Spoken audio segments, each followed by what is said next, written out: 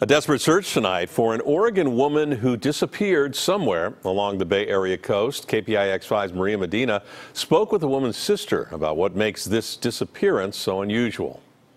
I'm just very scared now. On Friday, Angela Hernandez vanished without a trace. And it's just, it's not like my sister. Her older sister Isabel says the 23 year old was on a scenic road trip along the coast from Portland, Oregon to Lancaster, California, more than 900 miles away. Angela was about to start another chapter in her life. Her lease just ended in Portland, and she was moving in with her sister Isabel a month before Isabel's wedding but she was in contact with me. That was just the most important thing.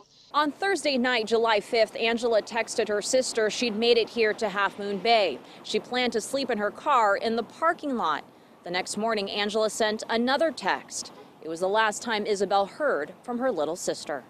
Just a simple text. I'm about to start driving. And then I replied okay with the heart back to her. And that was the last that I had any contact with my sister.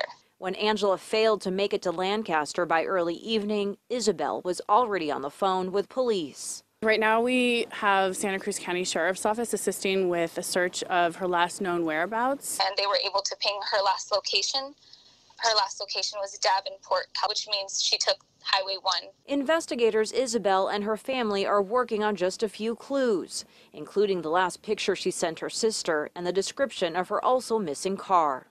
She could be anywhere. Isabel says her family had no idea Angela was moving back to California. They planned to surprise everyone when she arrived. Isabel says they're not giving up hope she'll come home. She is my best friend, you know, and I just I just feel just like something's not right. In San Mateo County, Maria Medina, KPIX 5. Angela Hernandez's car is uh, a white Jeep Patriot, as you saw there. License plate number is 436 KSQ.